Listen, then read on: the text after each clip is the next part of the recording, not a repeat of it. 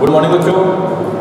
बेटा देखो, इसके पहले के क्लास में हम लोगों ने स्टार्ट किया था सेक्सुअल रिप्रोडक्शन फ्लावरिंग प्लांट और उस सेक्सुअल रिप्रोडक्शन फ्लावरिंग प्लांट में हम लोगों ने कंप्लीट जो है वो स्टामिन्स को स्टार्ट किया था। स्टामिन्स स्टामिन्स के दो पार्ट एंथर एंड फिलामेंट फिर एंथर के बारे में स्टार्ट किया structure of anther structure of anther में जब हम लोग आए थे तो देखे थे कि कोई भी एक एंसर है यानी अगर बात करें हम लोग सबसे पहले स्टामिन स्टामिन के अंदर क्या था?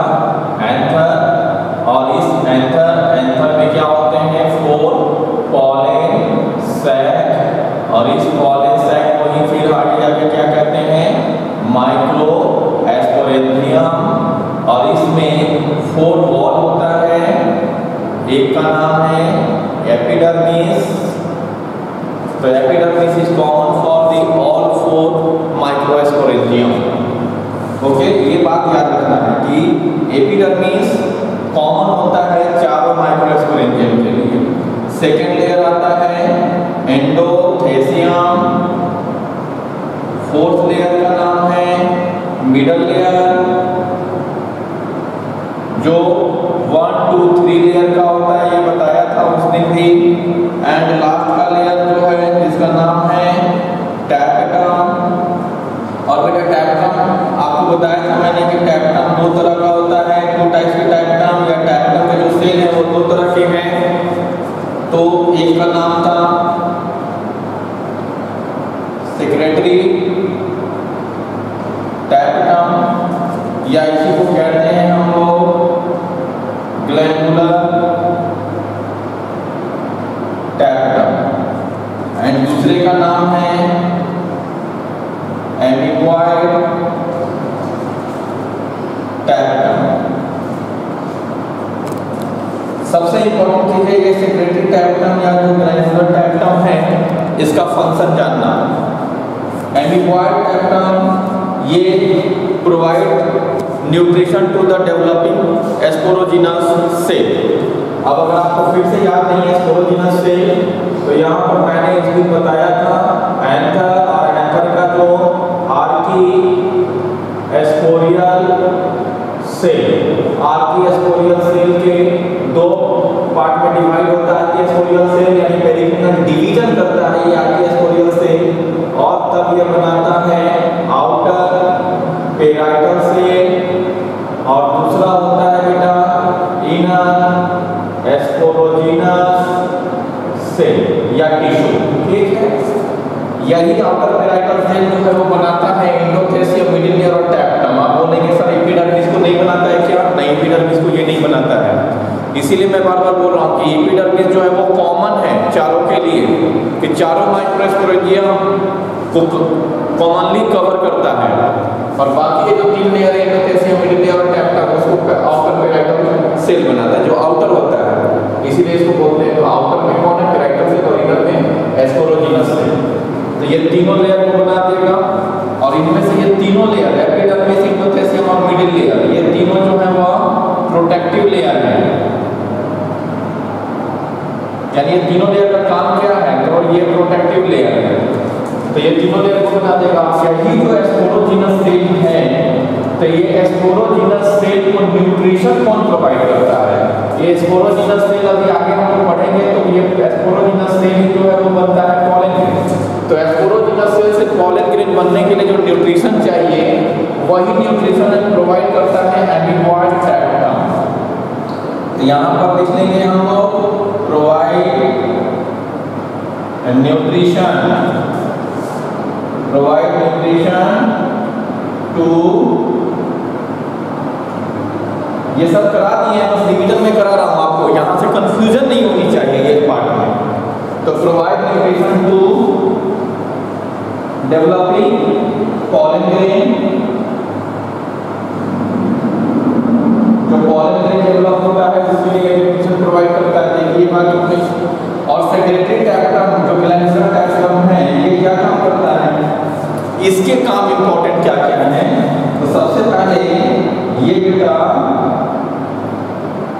एक यूवी रीच ग्रैनुल का फॉर्मेशन करता है और इसी यूवी रीच ग्रैनुल में पोजीशन होता है एस्पोरोपोलिन का।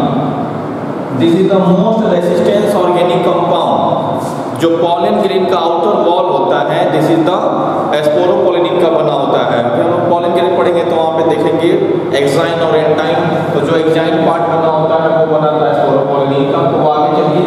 तो एस्पोरोपोलिन एक मोस्ट रेसिस्टेंट ऑर्गेनिक कंपाउंड है और इस मोस्ट रेसिस्टेंट ऑर्गेनिक कंपाउंड को बनाने का काम कौन करता है? यानी उसका सिक्रेशन तो ये सेक्रेटरी कैरेक्टर करता है। तो ये किसमें होता है तो एक यूवी स्पीच ग्रैन्यूल्स होता है उसी के अंदर एस्पोरोपोलिन होता है, और इसी से एक लेयर बन जाता है पॉलन ग्रेन के अंदर, जो पॉलन ग्रेन को एक प्रोटेक्शन प्रोवाइड करता है। ये पॉलन ग्रेन की बात है। यहाँ पर हम लोग देख रहे हैं माइक्रोस्पोरेंजियम की बात है। तो एस्पोरोजिनस से, जो किसके अंदर होता है तो ये होता है माइक्रोस्पोरेंजियम में, और माइक्रोस्पोरेंजियम एंथर में। तो एस्ट्रोलॉजी का सिर्फ़ पॉलिटिक बनेगा। दूसरा चीज़ ये बनाता है, बेटा पॉलिन किट और पॉलिन किट क्या है? कौन तो ये capital granular capital pollen kit का मतलब हुआ कि लिपिड रिच एक कंपाउंड होता है जो पॉलन ग्रेन को एंटेमोफिलस यानी अटैचमेंट का काम करता है, जब कोई एनिमल आएगा तो उसके साथ जुड़ जाएगा। तो ये एक ग्लू के जैसा है थोड़ा सा जो अटैच होकर के एक प्लांट से दूसरे प्लांट यानी पॉलिनेशन में मदद करने के लिए एक कॉम्पोनेंट होता है। तो उसी को कहते हैं पॉलिन ग्रेन तो for entomophilous pollen grain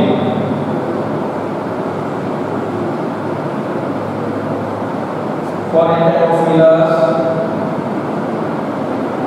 pollen grain entomophilous pollen grain के लिए काम ऐसा करता है। तो एक ये काम बात हो गई। अब ये फ़ंक्शन हम लोग समझिए बेटा। अब इसकी आगे की चीज़ों को अब हम लोगों को थोड़ा समझना है। यहाँ तक की चीज़ों को कन्फर्म याद कर लीजिए, समझ लीजिए। अब आइए चलते हैं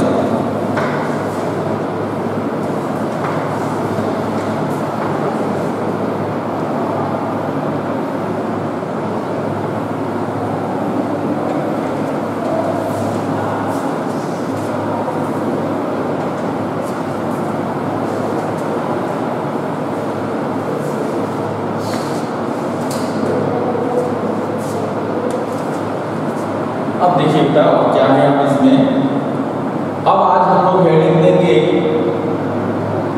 माइक्रो एस्पोरोजेनेसिस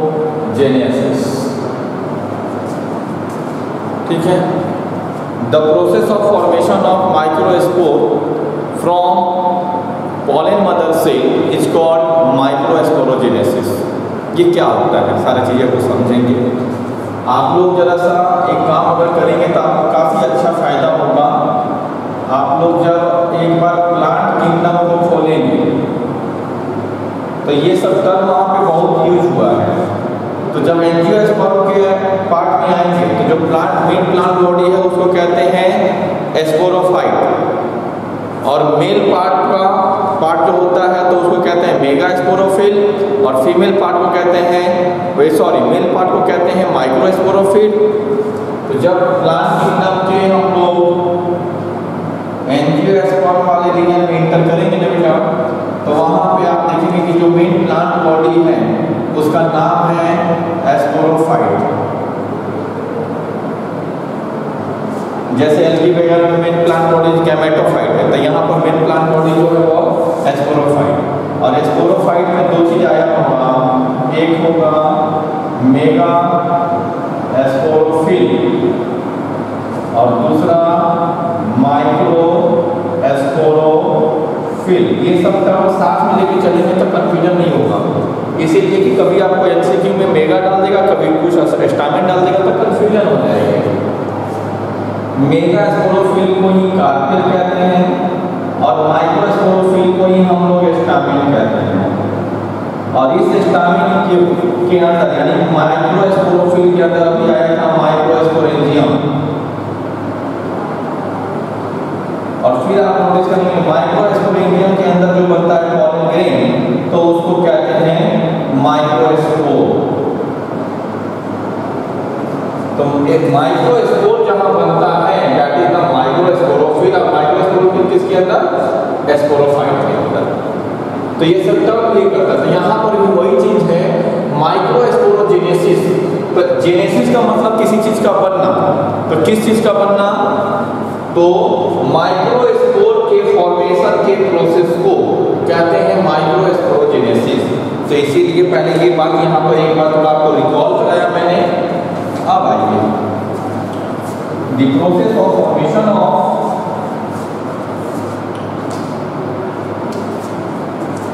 तो microsporogenesis the process of formation of ये तो समझ गए कि जिस प्रोसेस से माइक्रोस्पोर बनता है उसको कहते हैं। तो होता क्या है? उस दिन की कहानी को भी जब आप याद करेंगे, उस दिन की कहानी मतलब बेटा कि जो याद करो कि जो आज की स्पोरियल सेल से चले थे, एक तरफ़ एक तरफ़ आ गया था पेराइटल सेल से चार लेयर बन गए थे, अब स्पोरोजिनस जो सेल है, वहाँ से क्या रहा है? तो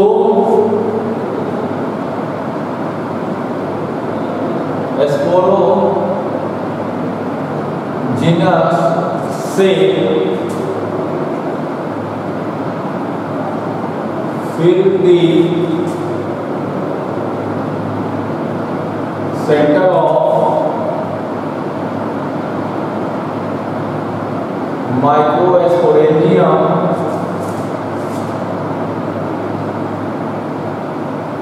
through division.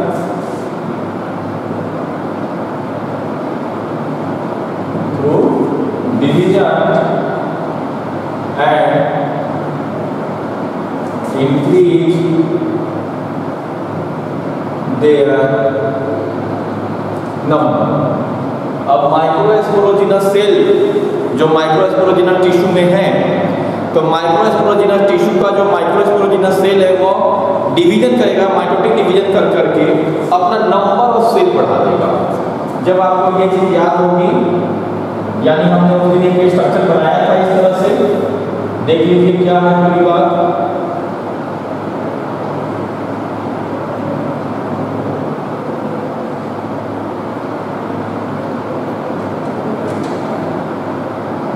वैसे डायग्राम तो आपको उस दिन भी दिया है मैं लेकिन थोड़ा सा यहाँ से रिलेटेड डायग्राम है तो एक बार फिर से मैं आपको रिकॉल करा दे रहा हूँ ओके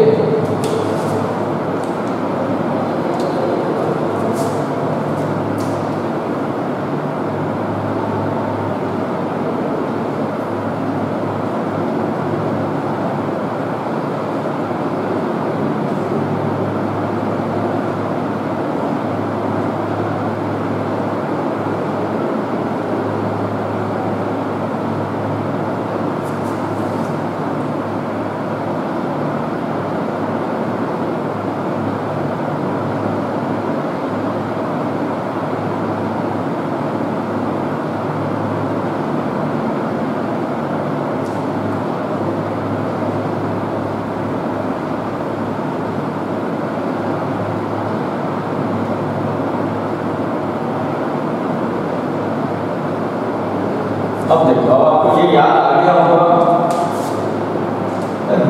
टैपेटम ये जो पार्ट है, ये है टैपेटम चलो इसको ब्लू कर देता हूँ।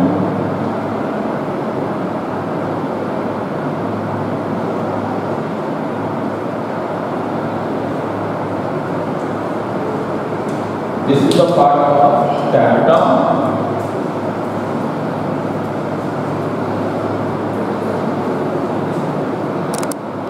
और ये कनेक्टिव टिश्यू है अब आप जानते हो कि ये जो पार्ट है दिस इज़ द टैप्टम ठीक है? और ये जो सेल है, ये है एस्पोरोजीनस टिश्यू और इसके अंदर बहुत सारे एस्पोरोजीनस सेल यही जो रीजन है कंटिन्यूअसली डिवाइड करके नंबर ऑफ़ सेल को बढ़ा देगा तो इसी का ये जो स्ट्रक्चर इस तरह से जो है, हम लोग देखते हैं।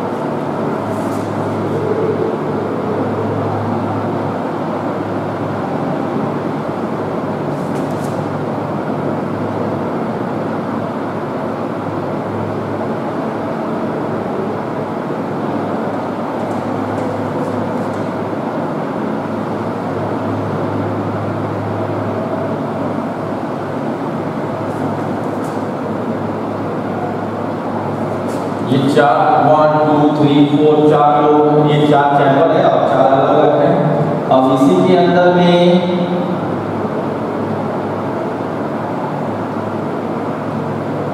बहुत सारे जो ये एक्सप्लोजिनल टिश्यू हैं और वो एक्सप्लोजिनल टिश्यू के जो सेल हैं वो डिवाइड करके और वो बना लेंगे माइक्रोस्पोर मदर से और फिर वो माइक्रोस्पोर मदर सेल से फाइनली जो है वो है ये बन जाएगा।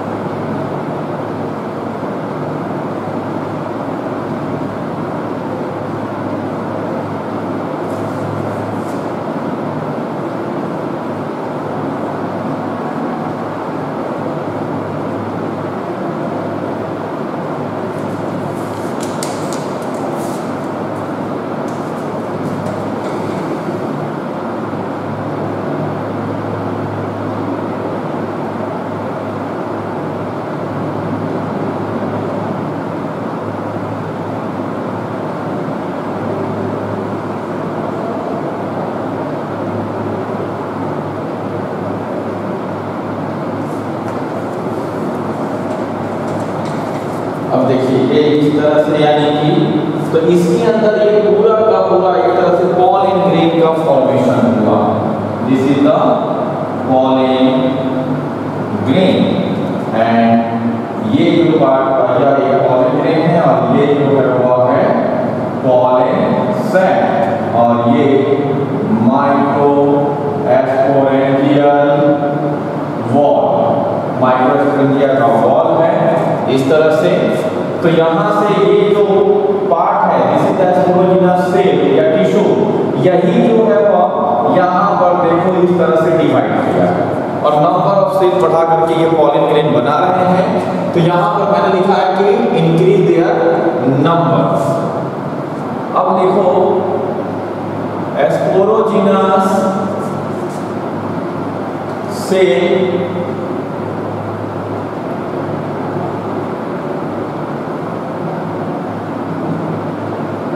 phosphorogenous cell modified or converted into uh, phosphorogenous cell forms folate mother cell or microscope mother cell ये जो स्पोरोजिनस सेल है यही कन्वर्ट हो जाता है कॉलेज मदर सेल में या माइक्रोस्पोर मदर सेल में।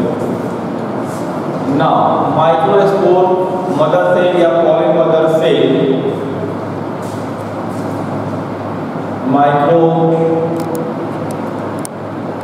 microspore mother cell और पीएमसी पीएमसी का मतलब pollen mother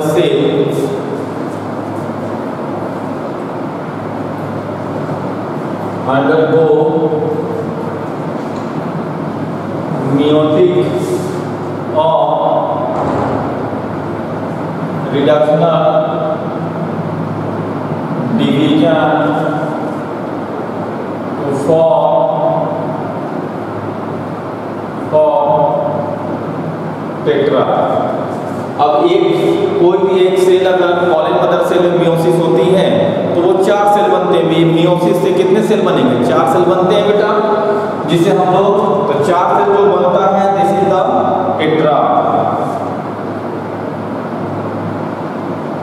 now tetra separate to each other by calories enzyme now tetrads separate to each other by calories enzyme which is called pollen grain अब इसी को क्या कहते हैं तो जब ये सेपरेट हो जाते हैं तब इसी को कहते हैं हम लोग पॉलिन ग्रेन में फिर डेफिनेशन क्या होगा the process of process of formation of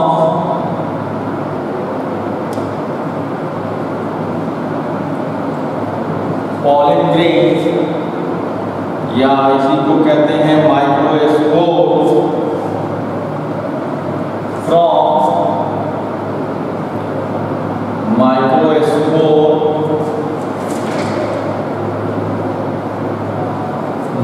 से इज़ कॉल्ड माइक्रो एस्पोरोजेनेसिस तो इसी को क्या कहते हैं माइक्रो एस्पोरो जेनेसिस तो माइक्रोस्पोरोजेनेसिस छोटी सी बात है, इसमें बस इतना ध्यान रखना है कि किसी भी प्रोसेस से जब क्या होगा? तो पॉलिन मदर सेल से पॉलिन ग्रेन का फॉर्मेशन होगा तो उसी को कहेंगे हम लोग? माइक्रोस्पोरोजेनेसिस और पॉलिन ग्रेन को ही माइक्रोस्पोर कहते हैं। एंथर को क्या कहते हैं? तो एंथर को कहते हैं माइक्रो एंथर का नाम क्या स्टामिन का नाम क्या था? Microsporophyll clear stamen in the microsporophyll उसके बाद में एंथर आया, और एंथर के अंदर क्या था? तो माइक्रो एस्पोरेंजियम एंथर के अंदर में पॉलिन से किसे कह रहे हैं तो वो माइक्रो एस्पोरेंजियम और माइक्रो एस्पोरेंजियम के अंदर पॉलिन ग्रेन बना, जिसका दूसरा नाम है माइक्रोस्कोप। ये बात हो गई। अब आगे जो टेट्राड जो बनते हैं, वो चार तरह के टेट्राड बनते हैं। एक कैसा टेट्राड बनेगा? तो मियोसिस आप जानते हो, दो तरीके में कंप्लीट होता है। Meiosis first and meiosis two the process of meiotic division is complete into the two stage one is the meiosis one and second one is the meiosis two then, on the basis of complete meiotic division, there are various types of, या there are four types of tetrad form तो यानी कि एक होगा कि जब meiosis one और meiosis one होने के बाद में कंप्लीट साइटोकाइनेसिस हो जाए। और देन आफ्टर मियोसिस यानी कि मियोसिस वन में दो न्यूक्लियस बना और दोनों न्यूक्लियस बनने के बाद में साइटोकाइनेसिस में कंप्लीट दो सेल बन जाए। ठीक है, दोनों हैप्लॉइड सेल बन गया और फिर दोनों हैप्लॉइड सेल में क्या हो? फिर से मियोसिस टू का प्रोसेस यानी फिर से कार्योकाइनेसिस और तब जाकर साइटोकाइनेसिस तो इसी के बेसिस पर, यानी कि यह एक सेल है, इस सेल के अंदर न्यूक्लियस है और ये क्या करेगा? मियोसिस मियोसिस वन में पहले क्या करेगा दो न्यूक्लियस और दो न्यूक्लियस के बाद में कंप्लीट टू सेल बना और फिर इन दोनों सेल में मियोसिस टू हो, इसमें भी मियोसिस टू हो, ठीक है, दोनों सेल फिर से डिवीज़न करके ये से दो सेल और ये भी डिवीज़न करेगा तो इससे भी दो सेल एक तो ये प्रोसेस होता है। दूसरा क्या होता है कि यह एक, समझ लो पीएमसी का सेल है। पॉलिन मदर सेल ये भी पॉलिन मदर सेल है। और इस पॉलिन मदर सेल में पहले क्या हो मियोसिस वन के समय दो न्यूक्लियस बन जाए। और फिर साइटोकाइनेसिस नहीं होगा। फिर तुरंत ये मियोसिस टू कर लेगा। और मियोसिस टू करके ये चार न्यूक्लियस बना लेगा और देन आफ्टर ये क्या करेगा साइटोकाइनेसिस करेगा तो साइटोकाइनेसिस करने के बाद तब ये चार जो है यानी four pollen mother cell are form sorry pollen mother cell नहीं four pollen grains are form इसमें भी stage here also four pollen grains are formed and here also four pollen grains are formed but difference is that here this is the complete sequential process meiosis 1 1 karyokinesis then cytokinesis once again karyokinesis and cytokinesis but here karyokinesis again karyokinesis then after cytokinesis this is the big difference अब इसी के basis पे ये दो तरह के हमें ये यानी कि ये जो बना है हमारा क्या है तो पॉलिन ग्रेन तो टेट्राड जो बनते हैं, वो दो तरह के ये चीज़ को शो करते हैं। ओके? तो जब, यानी कि हमने क्या बोला? कि जब तो यहाँ पे जो बनता है, इसका एग्जांपल है isobilateral isobilateral tetra और इधर जो बनेगा, इसमें आपको आएगा डेटू शेप अब देखिए तो ये समझ हो सर, ये डेटू सेट क्या है? आइसो बाइलैटरल क्या है, ये चार तरह के अभी हम लोग पढ़ने वाले हैं, क्या? टेट्राड। फोर टाइप्स के टेट्राड हम लोग को देखना है। उन चारों का नाम लिख करके अब तक हम लोग देखेंगे कि आखिर ये क्या क्या है। तो इसमें तो ये आइसोबाइलेट्रल और इसमें टेट्राहेड्रल या डेक्यूसेट ये बस अभी यहाँ पर ऐसे कीजिए और तक हम लोग देखिए क्या करते हैं। तो फोर टाइप्स के डायग्राम हम लोग करेंगे। ये डायग्राम क्या है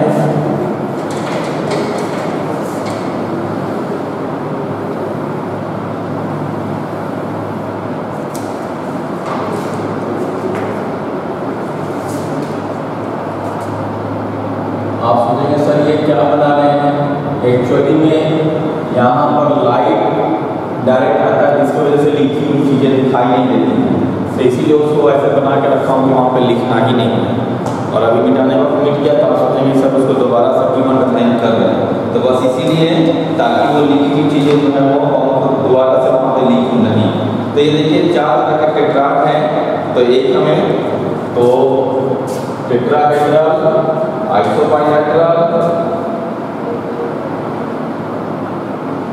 टेट्रा कितने टाइप्स के तो फोर टाइप्स के हम लोग देखेंगे।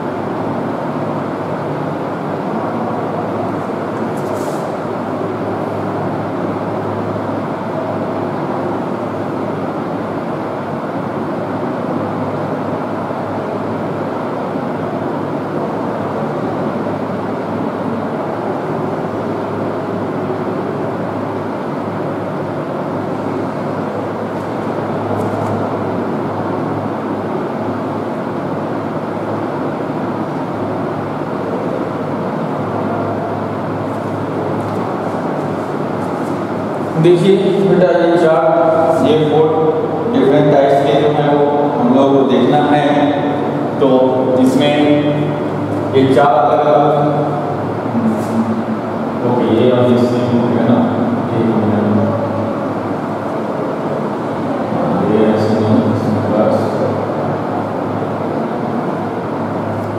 ये तो ये चार अलग अलग टाइप्स के टेट्राड तो टेट्राड कब बन रहा है बेटा? टेट्राड जब पीएमसी में म्यूटिक डिवीज़न होगा तो एक तो ये चीज़ फॉलो होगी मियोसिस वन दो न्यूक्लियस बनेंगे, और तब दो न्यूक्लियस के बाद में साइटोकाइनेसिस होके दो सेल बन गया। यानी यहाँ पर ये साइटोकाइनेसिस कार्योकाइनेसिस से दो न्यूक्लियस साइटोकाइनेसिस से दो सेल यानी टू सेल और दोनों सेल में फिर मियोसिस हुआ मियोसिस टू तो मियोसिस टू का तो यानी फिर से साइटोकाइनेसिस कार्योकाइनेसिस गए फोर सेल लेकिन यहाँ पर पहले मियोसिस वन का कार्योकाइनेसिस देन मियोसिस टू का कार्योकाइनेसिस और देन आफ्टर साइटोकाइनेसिस तो पहले दो बार कंप्लीट कार्योकाइनेसिस अब तक उसके बाद ये। ओके तो इस तरह से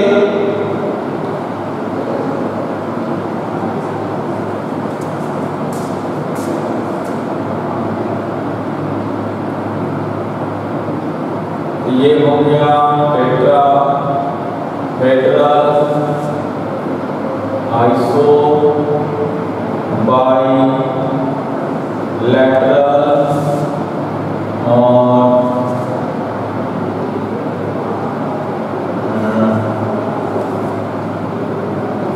लीनियर ये टी से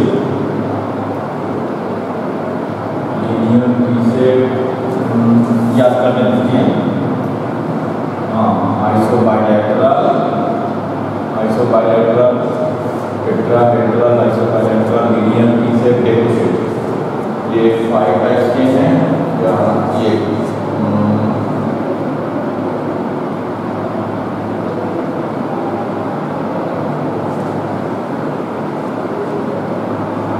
हाँ isobilateral tetrahedral isobilateral ये हो जाएगा टी से और ये हो जाएगा डेकू शेड और एक और होगा सब यहाँ फाइव टाइप्स के लिए हाँ और एक होगा लीनियर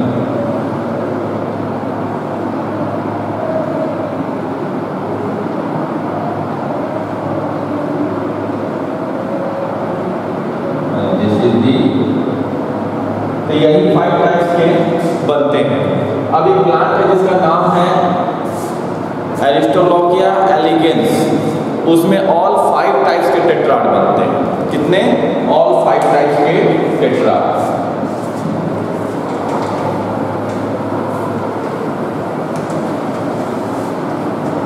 ये डायग्राम बना लेंगे तब उसके बाद देखेंगे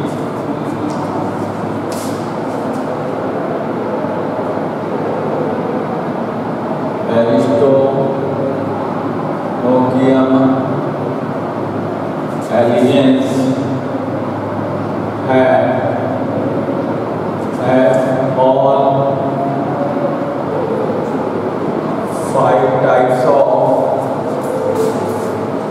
types of tetra तो एरिस्टोलोगिया एलिगेंस ऐसा है जिसमें ये सभी फाइव टाइप्स के जो है वो टेट्राड बनते हैं बाकी ऐसा नहीं है तो जनरली किसी प्लांट में सबसे कॉमन जो होता है वो आइसोबाइलेटरल देखने को मिलेगा नहीं तो डेकोशेट भी देखने को मिलता है नहीं तो कोई एक या दो ही टाइप के जो है वो हमें देखने को प्लांट में मिलता है ओके अब आइए अब हेडिंग देंगे पॉलिन ग्रीन तो ये टेट्रा और टेट्रा से क्या हो गया बेटा पॉलिन ग्रीन अब हेडिंग देंगे हम लोग pollen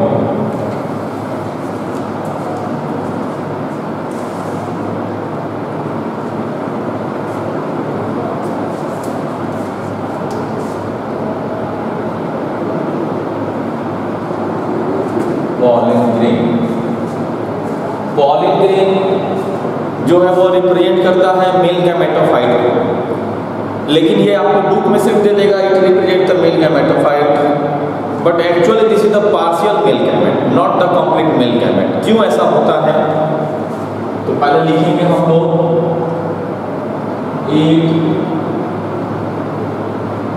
represents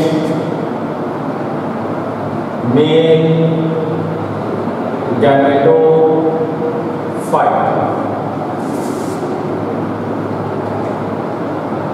but actually it is partial male gamete लेकिन एक्चुअल में क्या है ये? यह एक partial male gamete complete male gamete नहीं है। क्यों ऐसा? वो अभी आगे हम आपको बता रहे हैं क्यों ऐसा? क्योंकि एक पॉलिन ग्रेन के अंदर दो सेल होते हैं। एक होता है वेजिटेटिव सेल दूसरा होता है जनरेटिव सेल और जो जनरेटिव सेल है, वो एक्चुअल में मेल गैमेट है। वही फर्टिलाइजेशन में पार्टिसिपेट करता है। तो मेल गैमेट कहते हैं किसको है? जो ओवम के साथ या एग सेल के साथ फर्टिलाइजेशन करे तो पूरा का पूरा पॉलन ग्रेन फर्टिलाइजेशन में पार्टिसिपेट नहीं करता है। यानी पूरा का पूरा ये सेल नहीं पार्टिसिपेट करता है फ्यूजन में ये नहीं जाता है। इसके अंदर में भी एक होता है जनरेटिव सेल वो फर्टिलाइजेशन करता है, यानी एग सेल के साथ फ्यूज करता है। तो इसीलिए इसको बहुत कम जगह मिलेगा it is partial male gamete generally क्या रहता है कि यह जो है वो मेल गैमेटोफाइट है। Okay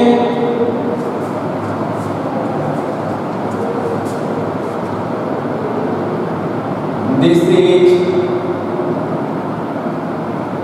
a spherical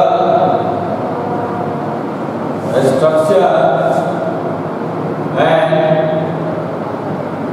it is about 25 to 30 micrometer in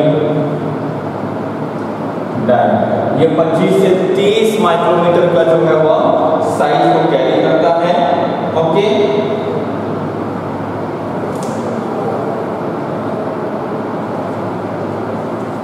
अब इसके सेल वॉल को ऐसे बोलो डॉल करते हैं। जिससे wall of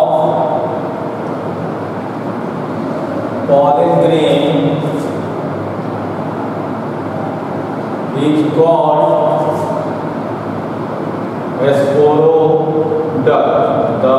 Wall of is called sporoduct,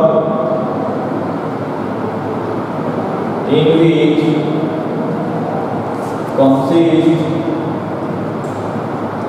two layer अब एक आउटर जो होता है टू लेयर आउटर क्या है? एक्साइन और दूसरा लेयर क्या है? तो वह है इनर इनर लेयर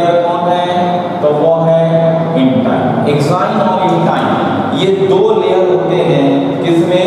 तो पॉलिन ग्रेन में बेटा ओके अब एक्साइन जो लेयर है, वही हम आपको बार बार कह रहे कि ये बना हुआ है किससे? तो ये बना हुआ है स्पोरो पॉलिनीन से। तो अब आइए एक्साइन में।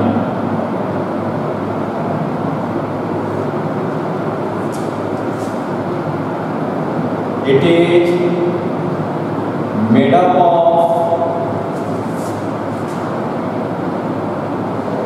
sporopollenin तो ये किससे बना है? स्पोरोपोलिनिन से बना है। और स्पोरोपोलिनिन आपको पता है कि this is the most resistance organic compound because it is not degraded by any enzyme या लिखेंगे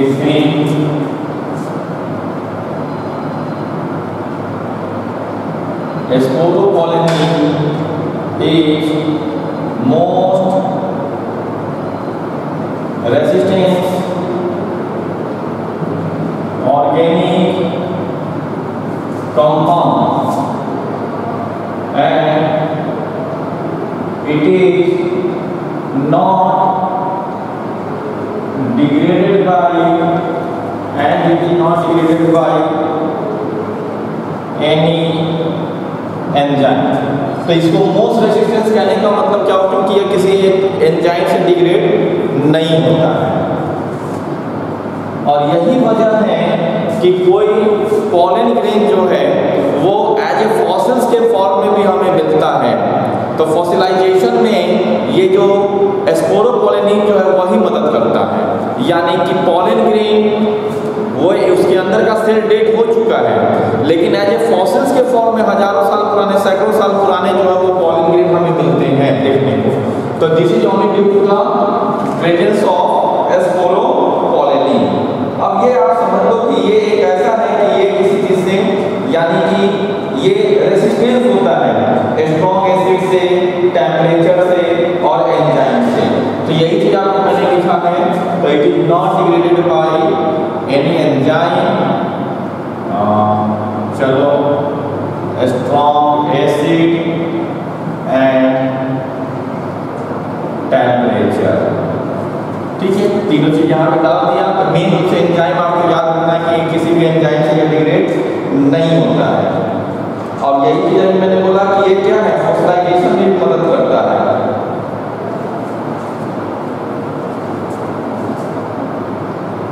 it help in fossilization Esporo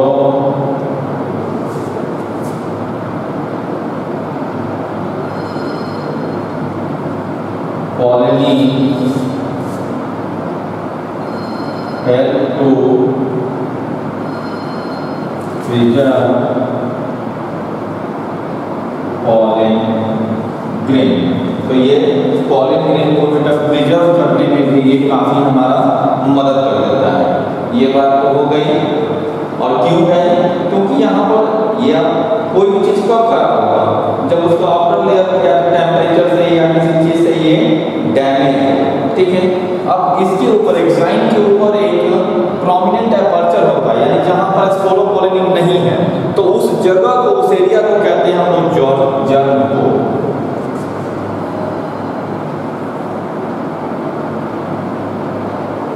A prominent. Gap where sporo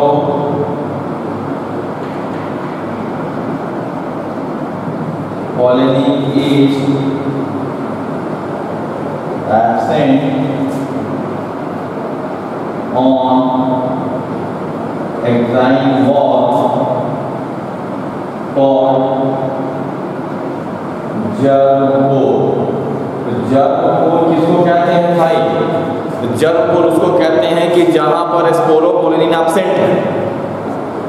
pollen grain का वो लेयर जहाँ पर स्पोरोपोलिन नहीं है, उसी को कहते हैं हम लोग जर्म एक तो ये बात हो गई। अब आइए इंटाइन यानी इंटाइन इंटाइन जो है वो अंदर का लेयर है। जो किससे बना है? तो जो सेलुलोज से बना हुआ है। ओके सेलुलोज है पैक्टिन से बना हुआ है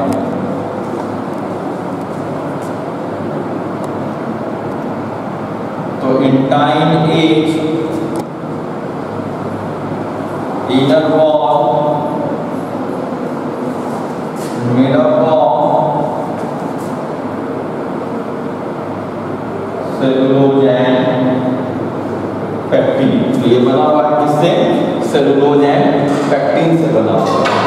अब देखो कि पॉलीग्रेन का साइटोप्लाज्म तो यानी कि जो साइटोप्लाज्म है पॉलीग्रेन का तो ऑब्वियस सी बात है पॉलीग्रेन का cytoplasm surrounded by the plasma membrane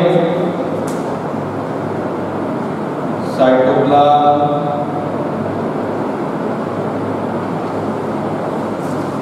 surrounded by plasma. Cytoplasm surrounded by plasma. Membrane. तो साइटोप्लाज्म को कौन सराउंड अब आप देख लो तो कहते हैं कि पॉलिन ग्रेन है टू टाइप ऑफ़ सेल एक पॉलिन ग्रेन में दो तरह सेल है। एक होता है वेजिटेटिव सेल और दूसरा होता है जेनरेटिव सेल तो वो अभी आगे देखेंगे हम लोग।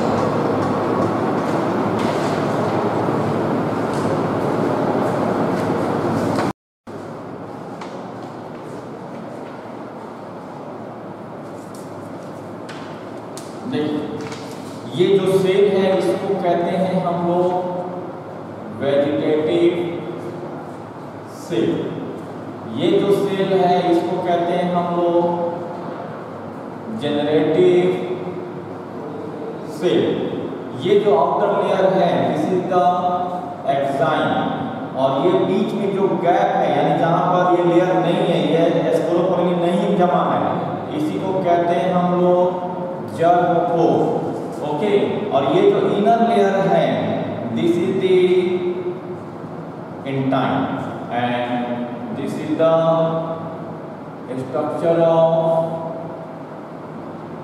pollen grain तो अभी आगे नेक्स्ट हम लोग ये हेडिंग ही देंगे कि हमारा मतलब ये, क्या कहते हैं स्ट्रक्चर ऑफ़ मेल कैमेटोफाइट तो मेल गैमेटोफाइट के स्ट्रक्चर आपको अभी यहाँ पर बता दिए, यही है पॉलन ग्रेन और यही है, यानी एक वेजिटेटिव सेल जो है तो यहाँ पर ये लिखेंगे पॉलन ग्रेन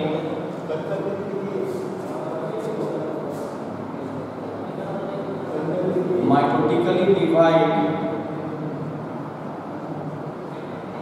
कली divide to form one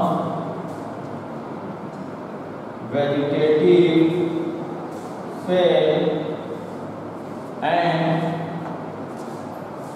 one generative cell. Pollen grain mitotically divide to form one vegetative cell and one generative cell. यही चीज़ है यहाँ पर अब बाकी जो है इसकी आगे की बातें हम लोग अब नेक्स्ट क्लास में करेंगे। तो यहाँ तक की चीज़ें आपको थोड़ा एकदम अच्छे से ध्यान में रख के चलना है। ओके यानी ये क्या क्या बातें हैं? तो पहले तो हम लोग देख लिए कि टैपेटम का क्या रोल था। टैपेटम के रोल की बात में देखो कि पॉलन ग्रेन कैसे बना। तो यानी कि जो स्पोरोजिनस सेल है, वो कन्वर्ट होता है पॉलन मदर सेल में और pollen mother cell meiotic division करता है।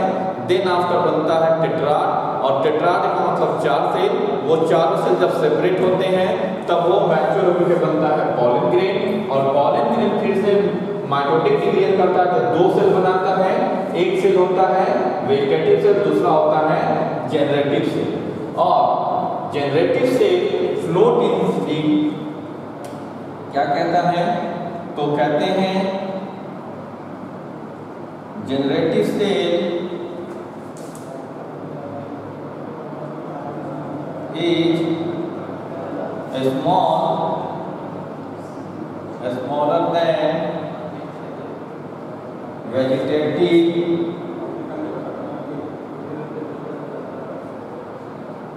vegetative cell that float into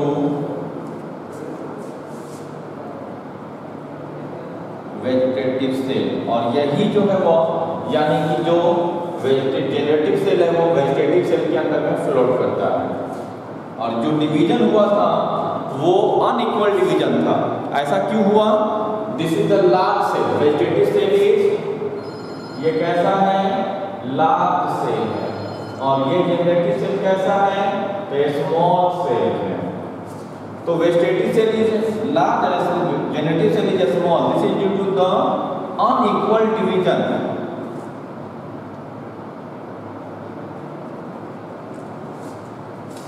large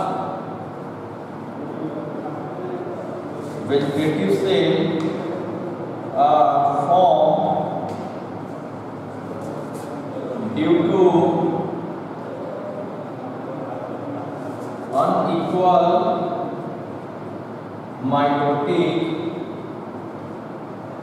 division जो माइटोसिस हुआ था, वो अनइक्वल डिवीज़न हुआ था, जिसकी वजह से यहाँ पर ये चेंजेस देखने को मिला। ओके चलिए। अब इसके आगे की बात हम नेक्स्ट क्लास में करेंगे ओके थैंक यू